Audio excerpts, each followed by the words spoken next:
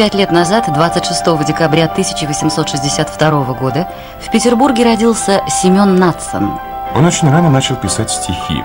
Первый же его сборник, изданный, когда поэту было 23 года, имел ошеломляющий успех. Пушкинская премия и 29 переизданий за последующие 20 лет. Он был кумиром читающей публики. Его стихи отражали дух эпохи, протесты, бессилие, разочарование и стремление к счастью. Пусть жертвенник разбит, огонь еще пылает, пусть роза сорвана, она еще цветет, пусть арфа сломана, аккорд еще рыдает. «Плоха та молодость, которая не чувствует Натсона», говорила Зинаида Гиппиус.